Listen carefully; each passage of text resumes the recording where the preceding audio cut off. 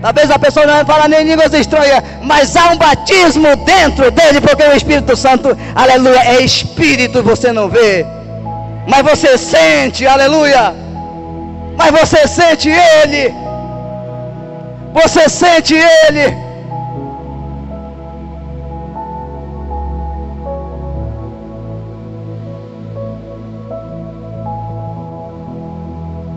Aquele que anda na carne é carne, mas quem anda no Espírito é Espírito.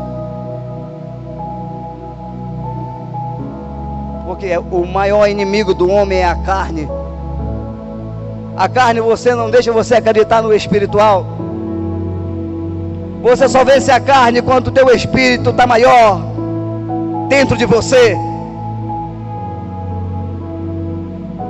Você só vende, vence as coisas deste mundo pecaminosa quando o espírito de você está forte. Senão você vai vir dez fire e vai ficar a mesma pessoa. Isso é só emoção. Deus te chamou para emoção. Deus te chamou, aleluia, para ser cheio de Deus.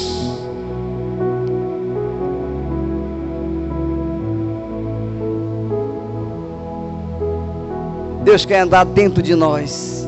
Dentro. Dentro de nós.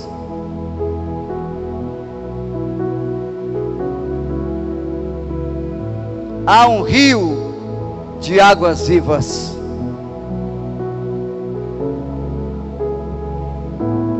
Há um rio de água viva, meu irmão, que Deus quer distribuir para cada um de nós, no nosso interior. Como diz as Escrituras, essa palavra você tem que colocar no seu coração, é como diz as Escrituras, não é do meu jeito nem do seu jeito ah, eu, eu, eu, eu, eu tô, aleluia, fazendo coisas ilegais aqui, escondido, e eu vou para um fire, eu vou sair lá cheio do Espírito Santo, vai coisa nenhuma. Vai não. Uma coisa é o material, outra coisa é o espiritual.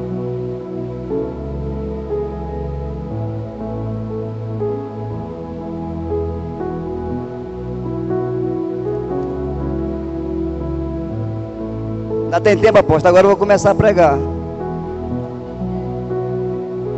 Quem quer ouvir a palavra de Deus, diga glória a Deus e aleluia.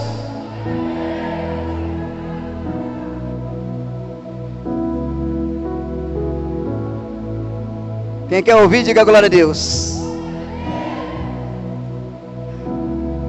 Louvado seja o nome do Senhor.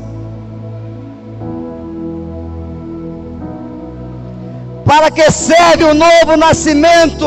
Qual é o nome da mensagem, irmão? Tem o nome da mensagem aí?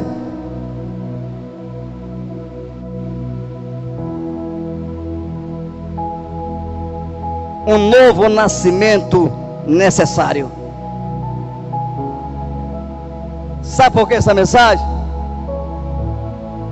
Porque Deus, Jesus fez questão de dizer três vezes para um homem três vezes para o homem.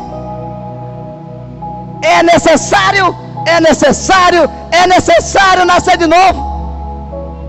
Quem vai me dizer que não é necessário aí? Quem vai me dizer que não é necessário ser batizado com o Espírito Santo? Se Jesus falou três vezes para um homem, para que serve o um novo nascimento? Para não viver mais segundo a carne, mas segundo o Espírito. Sabe para que serve um novo nascimento?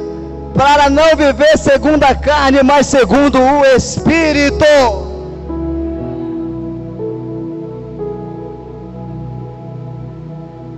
Romanos capítulo 8, versículo 5 em diante. Quem vive segundo a carne tem a mente voltada para o que a carne deseja, mas quem vive de acordo com o Espírito tem a mente voltada para o que o Espírito deseja.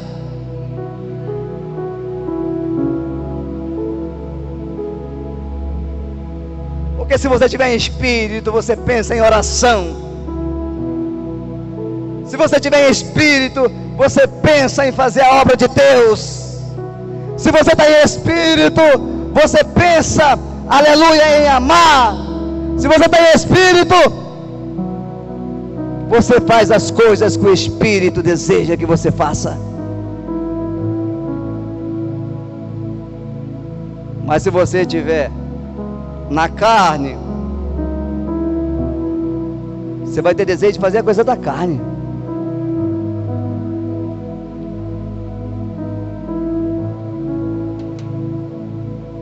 Você está em espírito, você tira teu tempo de oração, uma hora, duas horas, até o Espírito Santo fazer você ir além. Mas se você estiver na carne, o seu dedo vai ficar gasto no Facebook, no celular.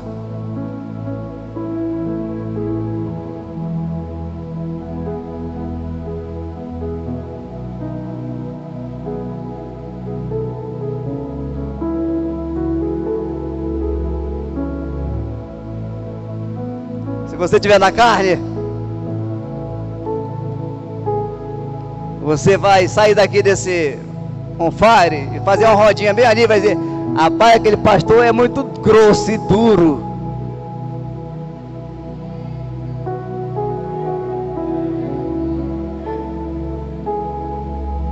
Mas se você tiver no espírito, você vai orar pelo pastor. Diga glória a Deus e aleluia.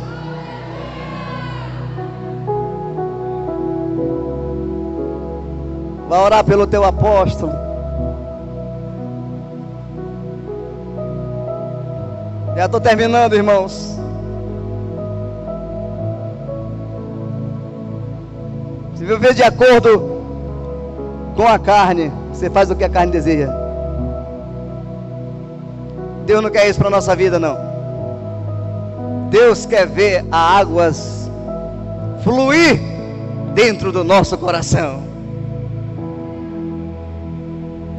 Aquele que crê em mim, como diz as escrituras, dele fluirá rios de água viva, meu irmão.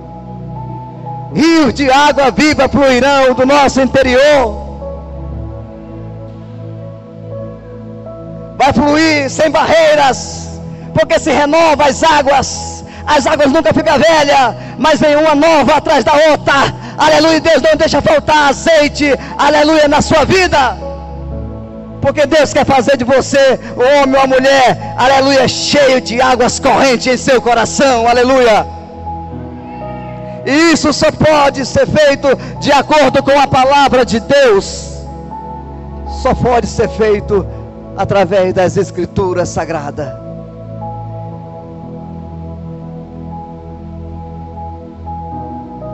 Essa semana eu conversei com uma jovem Atenção como é a pessoa voltada para a carne. Ela não acredita em Deus. Ela diz que acreditava mais em ateu do que em igrejas evangélicas.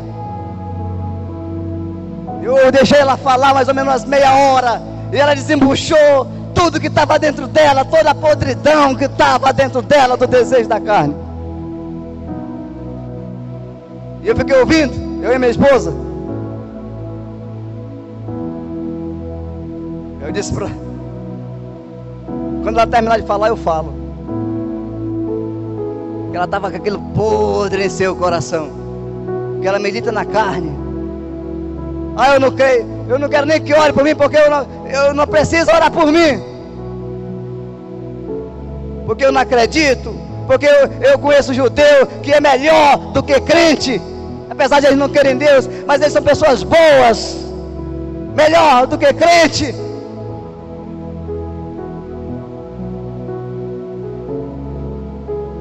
Aí você pode falar. Você olha, minha jovem. Aí você olha e eu, eu fracassei. Depressão, eu fracassei. Formada em direito e formada em contabilidade. Eu fracassei. Os olhos dela falava o que estava dentro dela, abatida.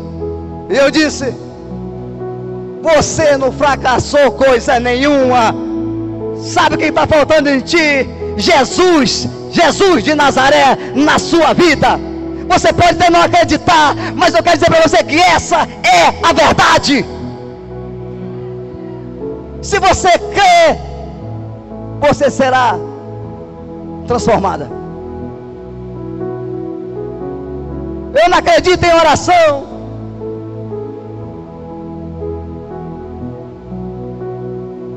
Mas essa é a verdade. Você pode até não acreditar, mas essa é a verdade. Não há outra solução para você, a não ser Jesus, Jesus, Jesus. Essa é a solução para a sua vida. Ele quer derramar em você um rio de água viva.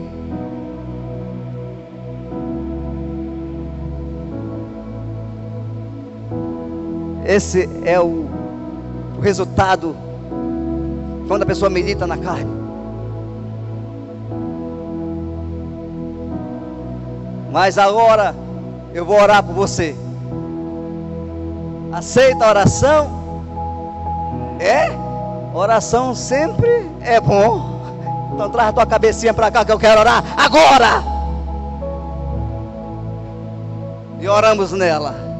E ela aceitou a oração. E Deus vai mudar a vida dela em nome de Jesus. Deus vai mudar a vida dela porque nós estamos orando por ela. É isso que eu. De... Irmãos, você que eu falei ainda agora, da carne. Você jovem que está aqui. Se você está militando na carne. Uma hora vai chegar a conta. Essa menina, essa senhora chegou a conta. Aonde que uma pessoa com duas faculdades está dizendo que é destruída, que é derrotada, que vai fazer o pior com a vida dela? Só o diabo mesmo. Entranhado ali, fazendo ela sofrer. E se você não parar, você que está aqui jovem, olha para mim. Se você não parar de estar tá me enganando você mesmo, porque você não está enganando a Deus, não. Se você não parar de estar tá enganando você mesmo, uma hora a conta chega, meu querido.